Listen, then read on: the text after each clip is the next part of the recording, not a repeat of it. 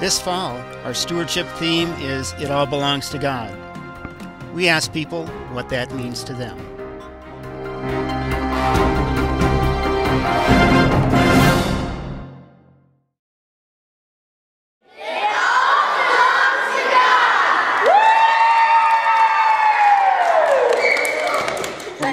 Hi, I'm Steve Peterson.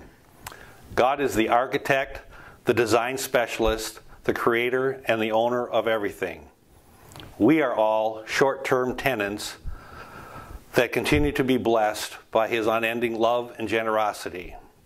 We have an ongoing opportunity to share, to use, and to pass on all of these gifts from God. It all belongs to God. I'm Tate Zumbush, and what I think of what is God is that God made everything. He made me, He loves me, He made everyone, He loves all of them. And He made people, and He made people that made houses.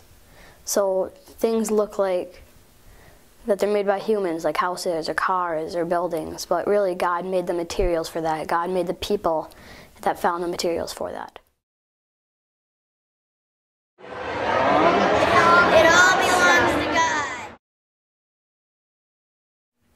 Everything we have, everything we do, everywhere we look, everything has been given to us by God.